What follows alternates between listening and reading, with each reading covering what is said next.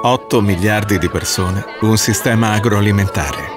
Conflitti armati, cambiamento climatico, rallentamenti e recessione, disuguaglianze, rincaro dei prodotti alimentari. Impediscono il progresso a molti, limitando il progresso per tutti noi.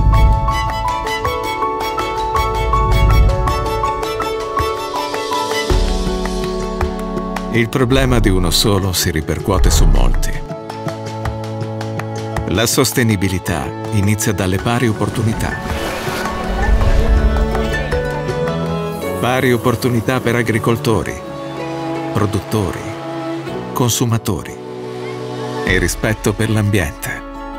Costruiamo un mondo con più cibo di qualità e che sia sicuro, nutriente e conveniente per tutti. Non lasciare nessuno indietro.